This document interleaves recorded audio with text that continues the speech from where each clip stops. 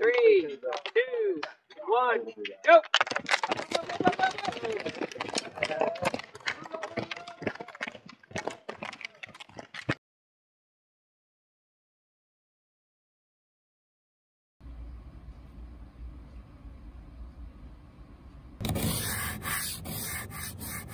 Welcome to another week.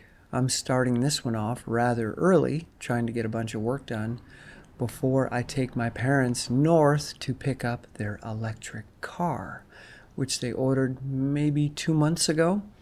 It's a Chevy Bolt EUV, brand new, and with all the incentives through Green Mountain Power, the state of Vermont, the federal tax credits, GM, uh, they're going to pay about $15,000 to take it off the lot, which is absolutely incredible. And Green Mountain Power gives you a free level 2 charger, and GM pays for the installation of the charger. So it's crazy not to get a Chevy Bolt EUV at this point in time. So we're going to pick that up. I'm going to drive it home for them because they're afraid of the technology. They've never driven an electric car, so uh, actually I haven't either, but uh, I'm pretty sure I can figure it out pretty quickly. Anyway, that's what my day is going to look like, and then the rest of the day I'm going to be installing the level 1 charger which comes with the car. So I've got to go to Home Depot when we get back and get a new um, circuit, a 20 amp circuit, and some new line, and uh, have a, a separate circuit just for the level 1 charger so they can start charging right away. Anyway, it's going to be an interesting week. I'm dialing back the training a bit because I have the Mount Greylock race coming up next weekend. And yeah, lots of house projects and lots of writing projects. I'm really uh, doing some good thinking of late. So I will keep you in the loop. Sitting in the educational bubble is kind of like lying in bed on a cold morning. You know you have to get up, but bed is so much nicer than not bed. And sitting in the toasty car and listening to a book is so much nicer than getting out of the car. Almost done with Robert Sapolsky's book, Determined. Hmm, got a love-hate thing going with it. I don't know. I don't know. This book is going to cause me to do some really deep thinking about a lot of things. All right, it's time to get out.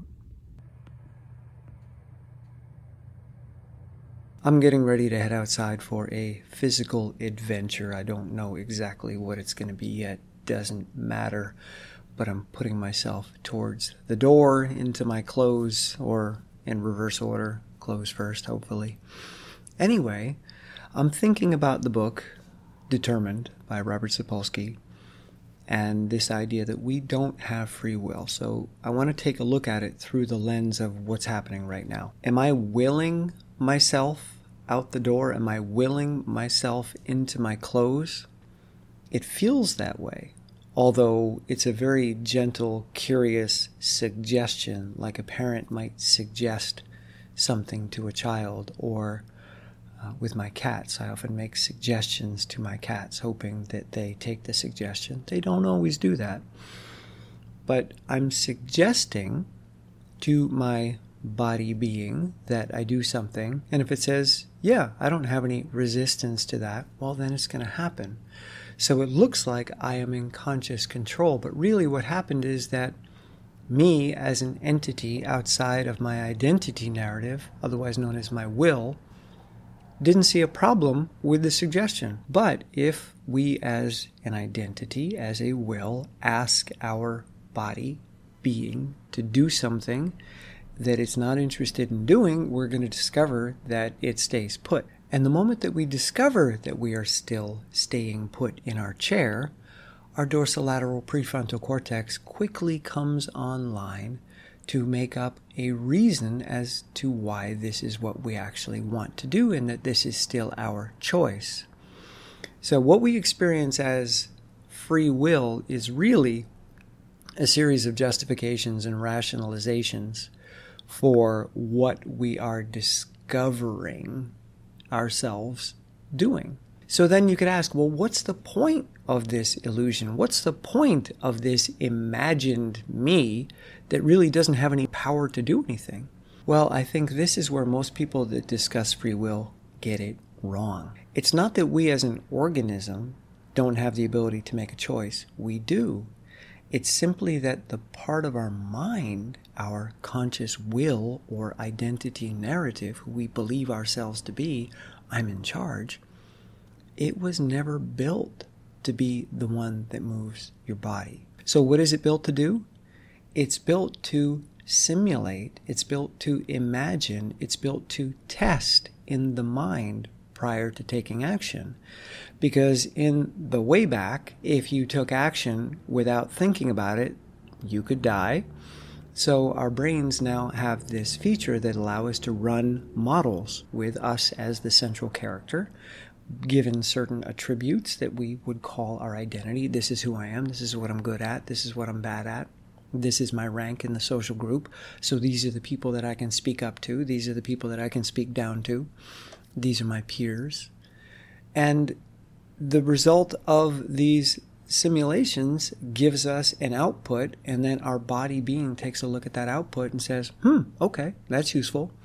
That's some good information. Now I will take a step. But when our identity believes that it's in charge, and there's a lot of messaging that we're bombarded with now that tells us that is the case, just be your true expression. Yeah, but you're not really a true expression. You're just a simulated narrative. So if we can recognize that this tool allows our greater being, our greater entity, whatever it is you want to call us as a larger context, if you can allow that your conscious identity space is simply a heads up display for the rest of you, and that it's the rest of you that's making the decision and taking the step, then suddenly we don't need to be talking about free will anymore because the entire conversation is premised on the belief that we, as a simulated identity narrative, have control over our body, and we don't. Not really, not when it matters. So, if you can allow that Tim, as a complete being, does make decisions, and if you can also allow that Tim as an identity with a life history and a story and an imagined future and a past that I'm trying to escape from or transform. And if you can allow that this is simply a tool for the rest of you, then we don't need to talk about free will anymore. So it's not that you don't have it, it's just that you don't consciously have it. But it's still you making the decisions, but not the you that you know. It's the you that you don't. It's the you that you need to get to know because it's the one that really ultimately matters. All right, I'm off to move. It's November 1st and it's snowing. It is time to go play in the snow.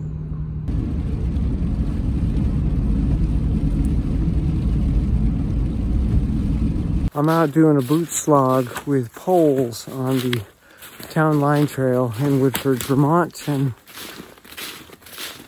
it's a grind. Boot slogs are tough and I'm doing a hill bound uh, with the poles. So it's a lot like classic skiing with these big heavy weights on my feet. And it's good. Uh, it's so much more exhausting than just running.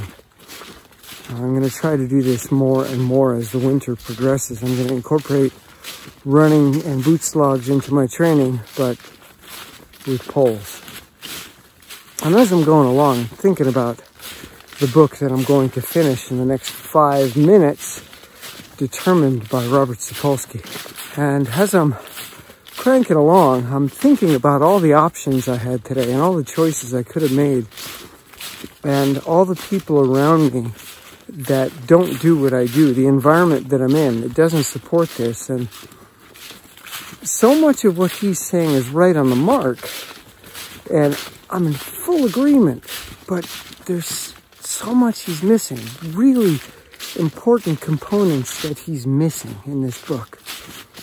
That essentially we can function as an identity, and if we do, there is no free will. But if we step outside of identity, then it's not that we're making decisions in any particular moment.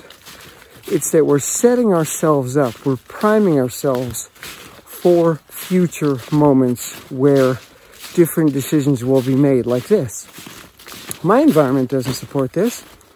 My biology doesn't support this. My neurochemistry doesn't support this. My familial structure and the peer group that I hang out with doesn't support this. So how is it possible? According to him, it's not. According to him, I can't do this. This would never be something that I choose as an identity. But if I can slowly change the environment that I'm in. And when I say change the environment, I don't mean move to a different place. I mean create an environment that causes decisions like this to be the easiest ones to make, or at least as easy as any other decision. So rather than coping, this becomes a really good option, but only because I've set up a structure in my life and I've constrained my being, my identity in such a way that this becomes a possibility, a strong contender. In fact, I've done such a good job of constraining my environment that I do stuff like this all the time throughout the day, every day. And when I'm done, I'm going to go into the house and I'm going to dig in the frozen ground with a little gardening trowel and then scratch the dirt into a big pile with my hands and then drag it backwards on my hands and knees in a bucket that I eventually pull out of the hole, lift up and throw onto a, a huge pile that I have to lift about six feet in the air to get to. Now, does that mean I'm tough? No. Does that mean I have willpower? No. Does that mean I can will myself to do difficult things? No. It just means that in advance of the activity, I have slowly over time created structures, created environmental cues, and created ways of thinking and ways of being that are not related to identity. And it looks like I have a lot of free will. It looks like I'm making really hard choices in the moment. But I'm never making a hard choice in the moment because you can't. I'm making a really easy choice that has been set up in advance by me as a being outside of identity, knowing what my identity is likely to face and what my body is likely to face in the future and which directions it is likely to be pushed in. Coping, depression. So instead, I set myself up to succeed. Now, can I take full credit for everything that I do? Absolutely not.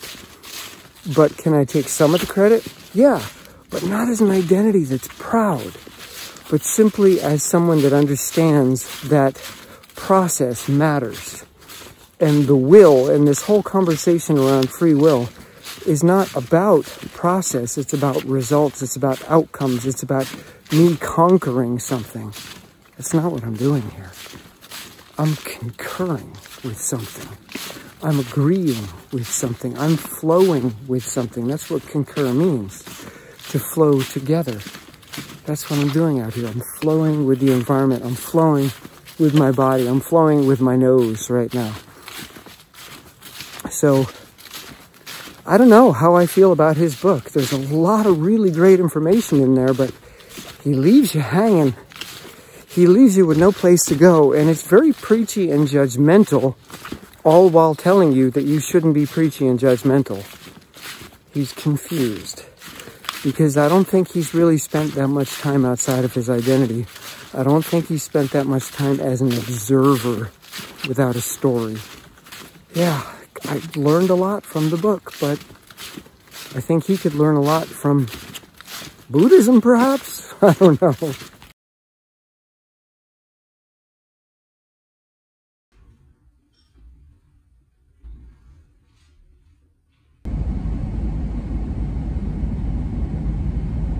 waiting for my family to pick me up at the mill. Gonna take them north to pick up the electric car. didn't come in on Monday. They told us it was to be there, but that was a false alarm. So heading up now, it's 25 degrees still. It's warmed up a little bit, but the roads could be icy. Hour and a half drive north. And uh, I'm going to drive the car home for them because uh, they don't yet trust themselves driving a new technology, and I don't trust them either driving it. So I get to drive my first electric car. So this is the new electric car my parents are getting. Not.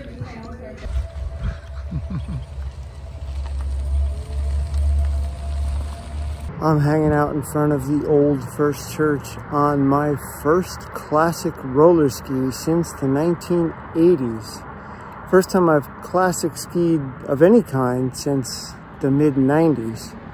But classic roller skis, 1987, 88 maybe?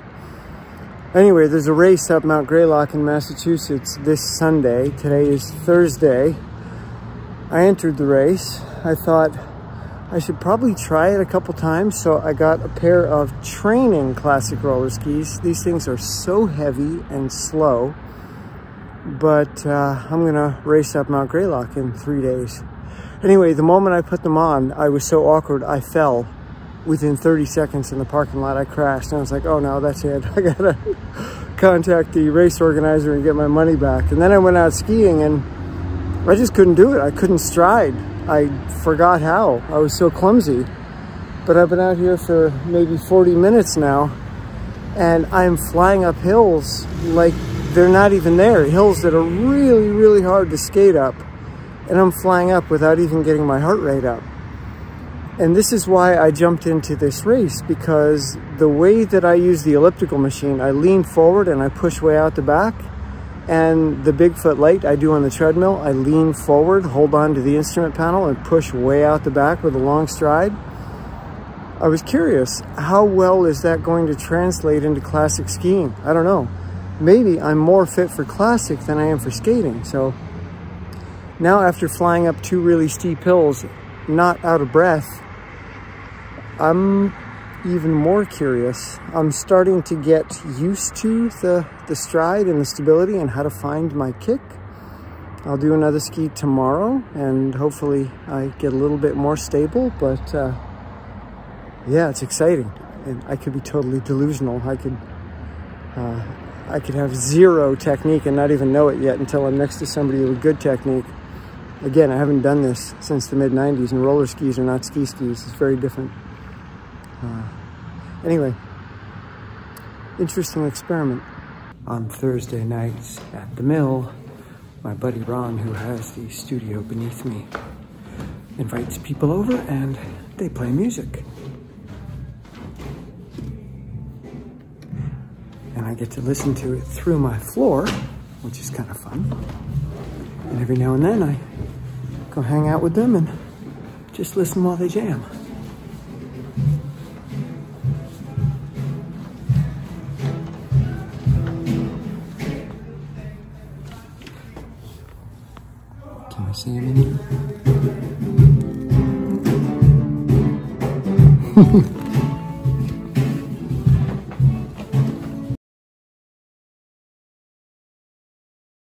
Is a very chilly November morning and I'm watching the sun rise over the mountain and listening to the book Your Future Self.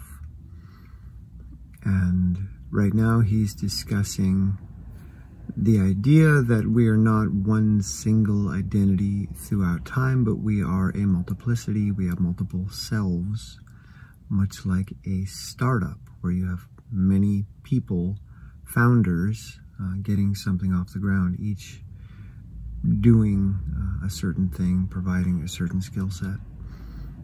And I'm very much in agreement with this view that we are a multiplicity. And the moment you begin to allow that to be the case, things start to change and you don't fight yourselves anymore. Just dropped my car off at the tire shop and I'm walking back to the mill and Saw this beautiful Japanese maple. So pretty. The race I'm doing on Sunday, the Mount Greylock roller ski race, eight miles long, climbs over 2,200 feet. Classic roller skiing, which is a technique that I have never done. I thought yesterday that I had last classic roller skied in 1986, but that was wrong. Because in 1986, there was no classic skiing. There was only skating. Classic skiing had vanished. It wasn't yet called classic skiing. It was originally called cross-country skiing using a diagonal stride. And then Bill Koch changed the world in the early 80s, bringing skating onto the scene. He won the World Cup. Uh, Bill Koch was one of my inspirations as a kid because he lived just over the hill. Anyway, so in 86, we were only skating. So the roller skiing that I did after my senior year in high school and maybe two years at Middlebury was just skating. So up until yesterday, I've never been on classic roller skis. Yesterday was the first time ever, and it was so awkward. Anyway, why would I do this? Why would I be putting myself in an eight mile roller ski race up a mountain using a technique and equipment that I have never ever touched in my life, just a couple days out. Well, number one, because I have an identity that isn't grounded in reality. My identity believes in all kinds of magical things, which is why identities are so dangerous. And you'll hear me counseling all the time to step out of your identity because it's going to get you in trouble. And in this case, I'm using my identity. I'm using it to put myself in a situation that's going to force learning, that's going to force growth, that's going to humble me, that's going to give me data about the reality of my technique and conditioning related to classic skiing.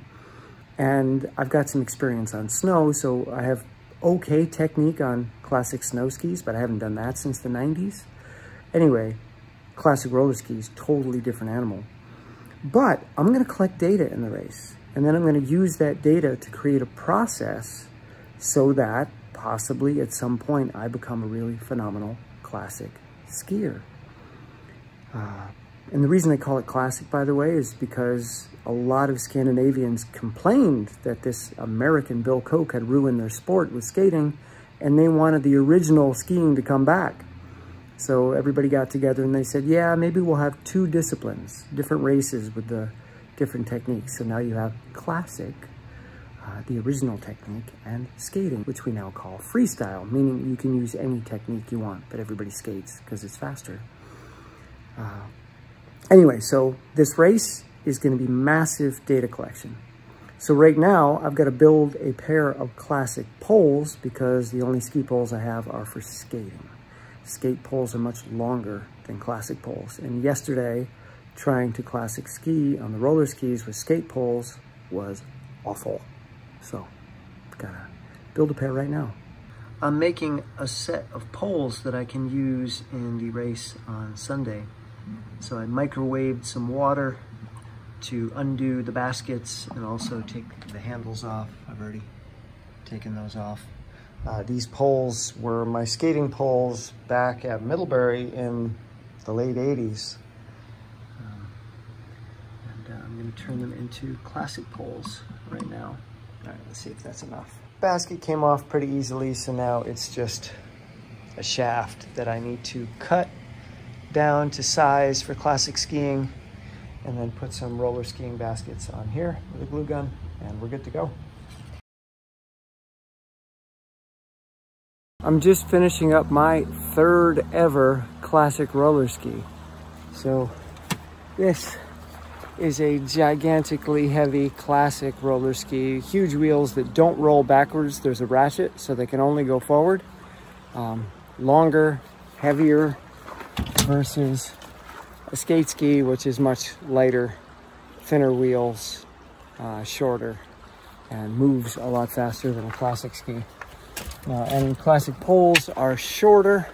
So I took my poles from the 1980s, uh, which I raced on at Middlebury, probably my sophomore year, 1988 at the Junior Olympics. Uh, and I put some modern grips on them, some modern roller ski tips, and, and we're ready to go there. And it's interesting because the first time it was so awkward, I thought, I've got to ask for my money back in the race because I just couldn't do it. It's, it's impossible. There's no way. I was delusional to think I could classic roller ski in a race. But yesterday I started to feel better. I was playing around with technique, getting my hips underneath me more, driving my knee forward. And then today I went up one of the steepest hills here in town. It's a 10 to 13%.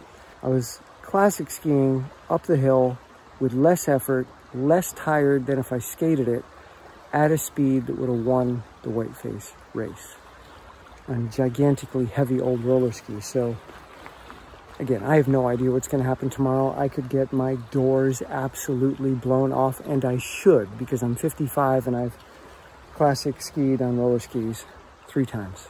But part of me thinks the elliptical, the Bigfoot light on the treadmill, it's the same muscles. Those muscles are solid in me and I've got hundreds and hundreds of hours in those activities.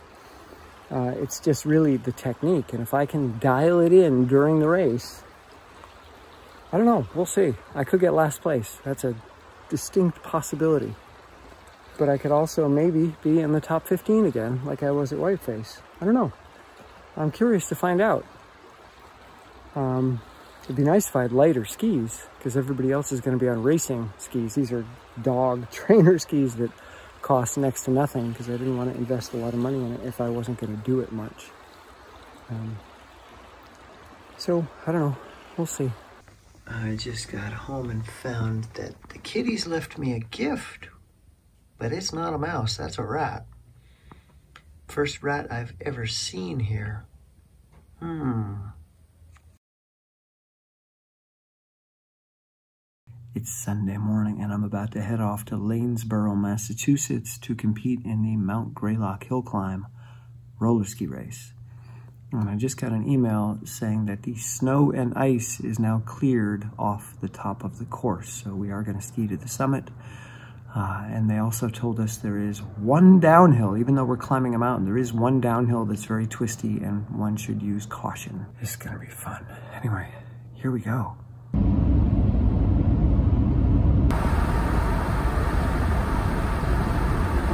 Just did a warm up running up the mountain with one of my old skiers, Tim White, uh, who's now got 46, 47, one of my kids. Anyway, um, he's telling me about the downhill at nine kilometers. And he said it's fast, it's curvy, and it's sketchy. And now I'm like, oh crap. I barely have any experience going downhill on classic skis and it's different. They're more wobbly than skate skis. Um, all right, anyway, I, I don't know what to do.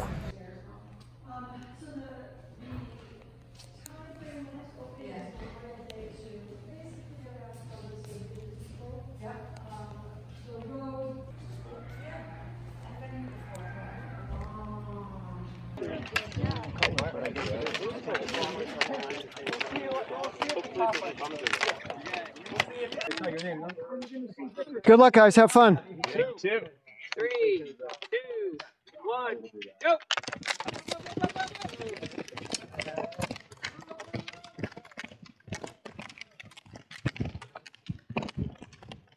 NENSA couldn't be more thrilled to bring together such a strong showing here in the Berkshires with clubs represented from every eastern state this year.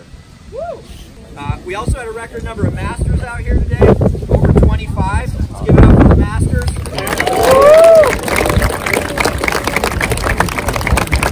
Open men, third place, Jack Lang from Second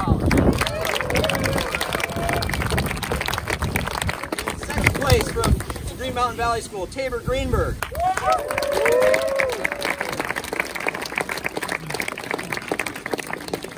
Bib number one, winning the open men's race, Remy Drolet.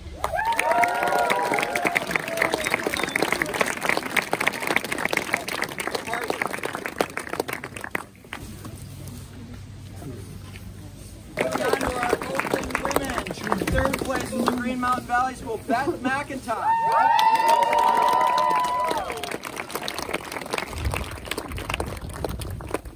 In second place, I don't have team names here, so I'm trying my best. Hayden McJunkin from Harvard.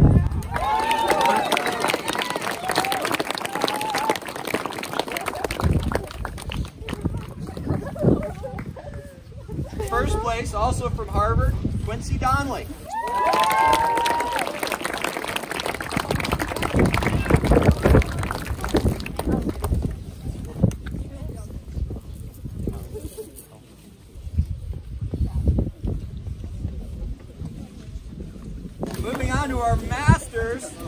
gonna might have to recognize the clubs once I talk to a couple of these folks, just so I don't make any mistakes. But in third place, Chris Burnham.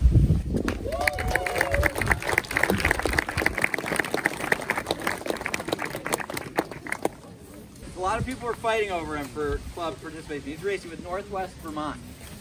Nice job, Chris. Second place.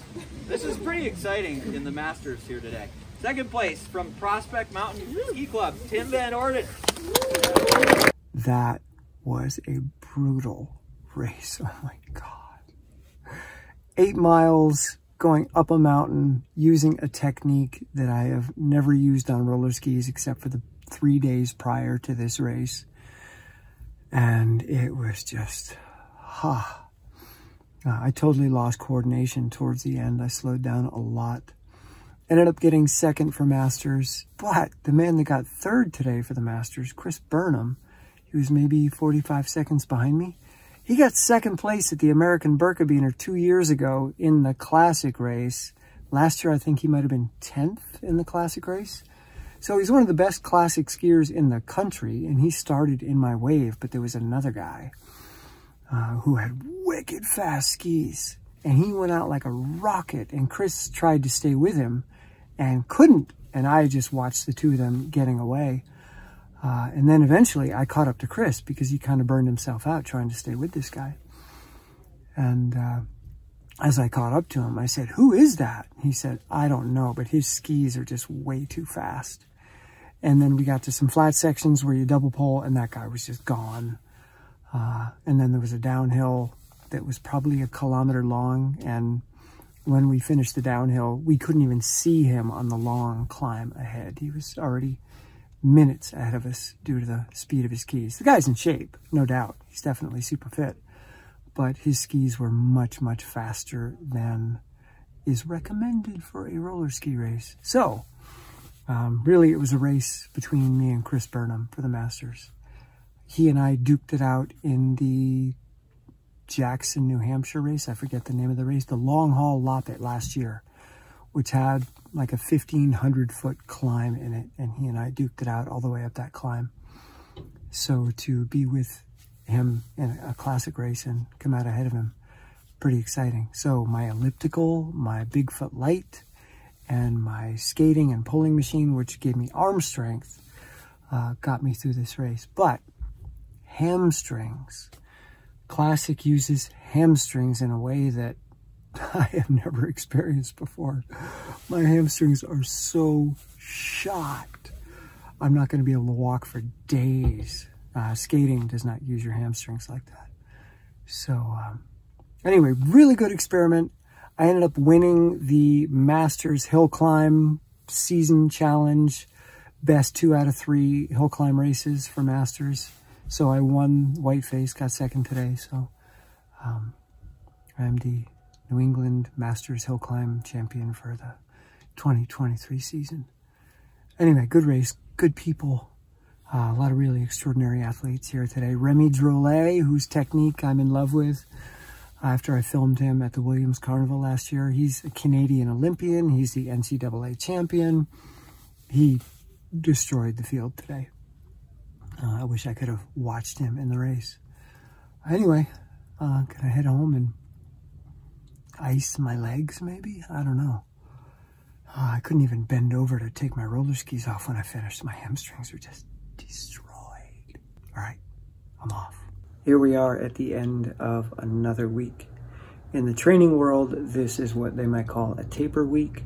So you drop your training down gradually uh, in preparation for a race, but I still got 17 hours of training this week. For most people, that would be a gigantic volume for a week, but for me, now that's a taper. Uh, I could have done less, but the race really wasn't that important to me. It was just an experiment. I was just curious, can I classic roller ski? And how well does elliptical and Bigfoot light translate? Pretty well. It's not perfect, but considering I got on the podium for Masters, that's uh, a successful experiment. Okay, let me show you what I did in the world of strength training. On Monday, I did some squats on my tiptoes, which I really like, and I'm hoping that I start doing more of those. Dips with 20 pound weight vest, feeling really comfortable. Deep push-ups, love those. And three sets of decent pulling. On Tuesday, I did neutral pull-ups, some warm-up sets, and then 38 pound uh, belt hanging from my waist, followed by an immediate six. And then, I don't know, I did 10 and then the 38 pound weight vest, followed by six and repeated that a few more times. I like that, doing a set without the weight belt immediately after. Uh, feeling strong there. Wednesday, lots of knees to bar, pulling 20 minutes at the easiest level. More tiptoe squats on Thursday and two sets of pulling at the easiest level. Friday, just super easy dips, Yesterday, 10 minutes at the easiest level of pulling. Again, just keeping the muscles moving. And then a few minutes ago, I finished 20 minutes at a decent weight on the pulling machine. Didn't get enough in the race. I wanted to do some more. So that felt good. I thought my hamstrings were going to be a complete disaster, but I did some massage and a few workouts after the race and they kind of loosened up. So they feel fine right now. I don't know what they'll feel like tomorrow or the day after, but right now I feel good. So heading forward into the new week, I'm going to try to get my volume back up over 21 hours, so three hours a day plus. Um, going to do some more intensity on the pulling machine maybe try to get some harder sets, five minute hard sets or eight minute hard sets. So I'm gonna see if I can get myself to do that. If I can't, that's fine because I'm getting stronger just doing my gentle approach. So uh, I'm gonna go to bed. It's been a long day and I'll see you in the next one.